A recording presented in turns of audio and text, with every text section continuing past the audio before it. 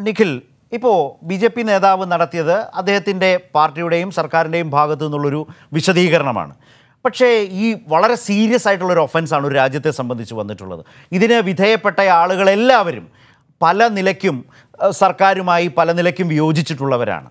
അവിടെയാണ് ഈ ഒഫൻസ് വളരെ ഗൗരവത്തിൽ നമ്മുടെ മുമ്പിൽ നിൽക്കുന്നത്. അതിന് തെളിവുണ്ടോ എന്ന് ചോദിച്ചുകൊണ്ട് ഇപ്പോൾ പുറത്തു വന്ന വിവരങ്ങളുടെ ഗൗരവത്തെ കുറയ്ക്കാമോ?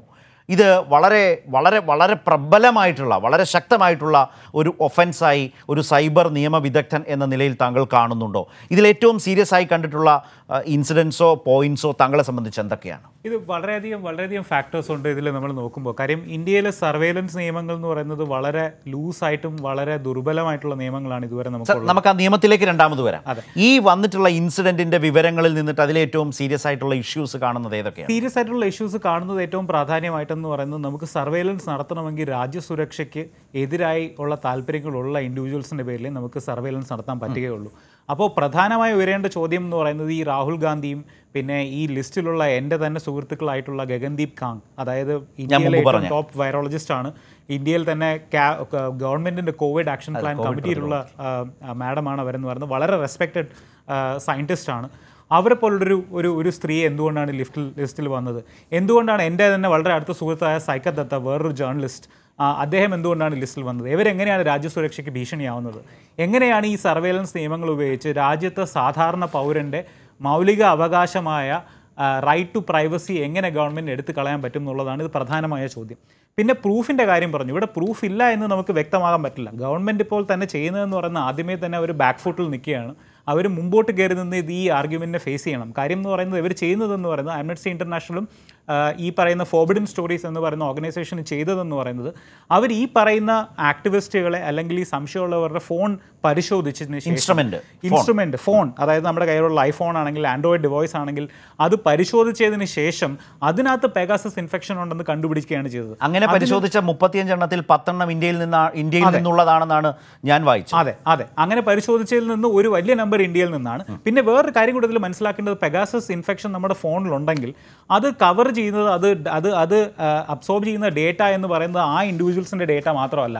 അതായത് ഇപ്പോൾ ഫോറൻസിന് ശരത്തിന്റെ ഫോൺ ആണ് ടാപ്പ് ചെയ്യുന്നതെങ്കിൽ പെഗാസസ് ഇൻഫെക്ഷൻ ഉണ്ടെങ്കിൽ ശരത്തിനെ കോൺടാക്ട് ചെയ്യുന്ന എല്ലാവരുടെയും ഇൻഫർമേഷൻ അതായത് നമ്മൾ ഉദ്ദേശിക്കുന്ന ഇപ്പോൾ പത്ത് പേരെയാണ് ടാർഗറ്റ് ചെയ്യുന്നതെങ്കിൽ അവരെ ഈ കഴിഞ്ഞ എത്രയോ വർഷങ്ങളുമായി കോൺടാക്ട് ചെയ്ത ലക്ഷോപലക്ഷം ജനങ്ങളുടെ വിവരമാണ് ജന ഈ ഗവൺമെന്റ് അനധികൃതമായി ചോർത്തിക്കൊണ്ടിരുന്നത്. ഉദാഹരണത്തിന് ഇപ്പോൾ ഐ ടി സഹമന്ത്രിയായിട്ടുള്ള Prahlad Patel.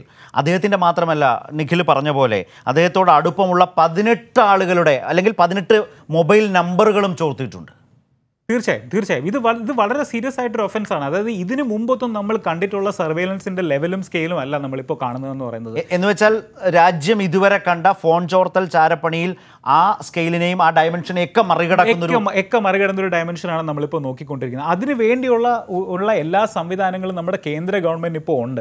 For instance നാറ്റ് grid ആണ് ഒരു പ്രധാന പ്രോജക്റ്റ് എന്ന് പറയുന്നത് അതായത് നമ്മുടെ എയർലൈൻ കമ്പനികൾ ബാങ്കുകൾ ഇൻഷുറൻസ് കമ്പനികൾ ടെലികോം കമ്പനികൾ ഇവരുടെ എല്ലാം വിവരങ്ങൾ ഒരേ സമയത്ത് ബിഗ് ഡേറ്റ പ്രകാരം അനലൈസ് ചെയ്യാനുള്ള പ്രോജക്റ്റാണ് നാറ്റ് ഗ്രിഡ് എന്ന് പറയുന്നത്. ആ നാറ്റ് ഗ്രിഡ് പ്രോജക്റ്റ് റണ്ണിംഗ് ആണ്. അതുപോലെ നേത്ര എന്ന് പറഞ്ഞ് നമ്മുടെ ഇഷ്യൂസ് ഉണ്ടായിട്ടില്ലേ? നാറ്റ് ഗ്രിഡിൽ ഒരുപാട് ഇഷ്യൂസ് ഉണ്ട്. കോടതിയുടെ സർവൈലൻസ് ഇഷ്യൂസ് ഉണ്ട്. കോടതിയുടെ മുമ്പിലാണ്. ഇതിനൊന്നും നിയമമില്ല. ഇതിൽ സോ നമ്മുടെ പുട്ടുസ്വാമി നിയമപ്രകാരം ഒരു ഒരു ഒരു പൗരന്റെ ഫണ്ടമെന്റൽ റൈറ്റ് ആയ പ്രൈവസി വയലേറ്റ് ചെയ്യണമെങ്കിൽ പാർലമെന്റ് പാസ്സാക്കിയ ഒരു നിയമം വേണം. അങ്ങനെ പാർലമെന്റ് പാസ്സാക്കിയ ഒരു നിയമത്തിന്റെ അടിസ്ഥാനത്തിലല്ല ഈ നാഡ്ഗ്രിഡ് വർക്ക് ചെയ്യുന്നത് ഡി ആർ ഡിയുടെ നേത്ര വർക്ക് ചെയ്യുന്നത്. പിന്നെ നമ്മുടെ ടെലികോം കമ്പനീസിനെ എന്ന് ഫോൺ വിവരങ്ങൾ ചോർത്താൻ വേണ്ടിയുള്ള സെൻട്രലൈസ് മോണിറ്ററിംഗ് സിസ്റ്റം എന്ന് പറഞ്ഞ് സി എം എസ് എന്നൊരു ടൂളുണ്ട് ആ ടൂൾ ഇരിക്കുന്നതെന്ന് പറയുന്നത് ഓരോ സ്ഥലങ്ങളിലും ഓരോ ടെലികോം കമ്പനിയുടെ എക്യുപ്മെന്റ് ഇരിക്കുന്നിടത്ത് ഡയറക്റ്റ് ആയിട്ട് ഫോൺ ചോർത്താൻ പറ്റുന്ന ഒരു ഒരു ഒരു മെക്കാനിസമാണ് ഇതിനൊന്നും ഈ നാട്ടിൽ നിയമങ്ങളില്ല. ഇപ്പോൾ അഡ്വക്കേറ്റ് നിഖിൽ ഒറ്റ കാര്യം കൂടി. മറ്റൊരു അഭിഭാഷകനാണ് നമ്മൾക്കൊപ്പം ഇരിക്കുന്ന അഡ്വക്കേറ്റ് എ എം മാരിഫ് ഇവിടെ ഒരു പ്രധാനപ്പെട്ട കാര്യം. ഒരു ക്രൈമിന് ഒരു മോട്ടീവ് ഉണ്ടാകണം. ഇതിൽ ഞാൻ മുമ്പ് പറഞ്ഞ പോലെ ഞാൻ വീണ്ടും ആവർത്തിക്കുന്നു. ഈ പൊന്നും വിലയ്ക്ക് പെട്രോളും ഡീസലും വാങ്ങി വണ്ടിക്കകത്ത് ഒഴിക്കുന്ന സാധാരണക്കാരൊഴികെ ഇന്ത്യൻ ക്രോസ് സെക്ഷൻ ഇന്ത്യൻ സൊസൈറ്റിയുടെ ക്രോസ് സെക്ഷൻ ഇതിലുണ്ട്.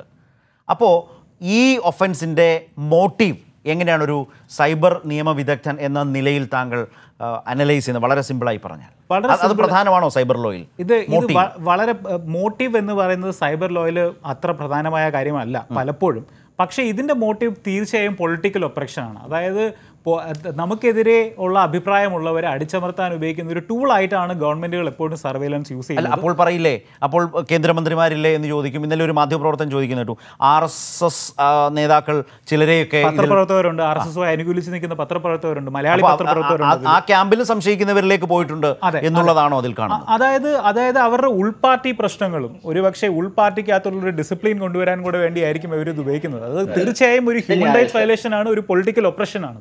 റൈറ്റ്